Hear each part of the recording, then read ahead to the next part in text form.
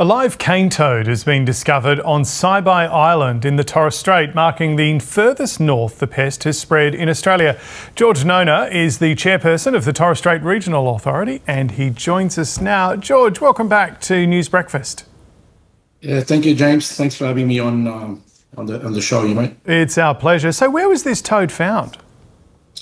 Yeah, the um, the toad was actually found um, on Saibai Island, and just for the viewers here, um, as um, it, the Torres Strait is a beautiful uh, part of Australia. Um, it's actually located between um, Cairns, actually Australian mainland, and Papua New Guinea, and it was actually located um, uh, and discovered by our local uh, Torres Strait Regional Authority rangers um, on on on, on Saibai. Mm. And um, as as you know, that it's the it's officially the furthest north that this pest actually um, has spread in Australia, an unwanted milestone yeah. actually for our region. So Saibai Island is right up near Papua New Guinea. It's in the north of the Torres Strait. How do you think it got there?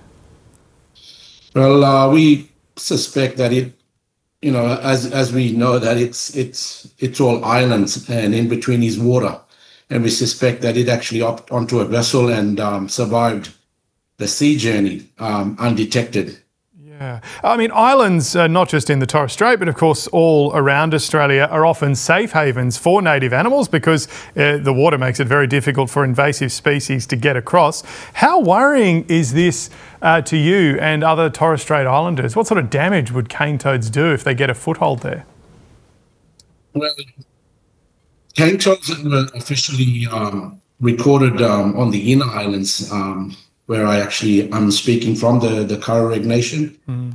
Uh, the Inner Islands back in uh, in the 2000s, and um, Torres Strait Outer Islands are among few places in, in, in Queensland that are still cane toad free.